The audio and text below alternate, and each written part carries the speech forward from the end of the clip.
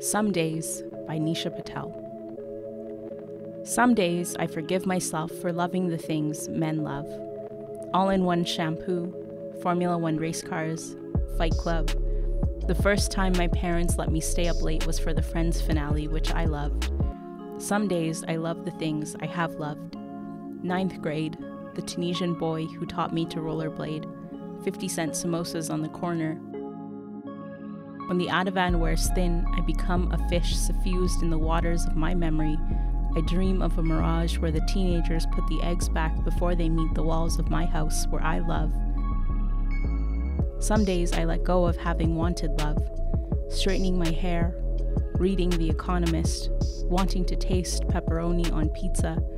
Girls like me, we are what we eat. I'm a chicken, not a love letter. This I love too.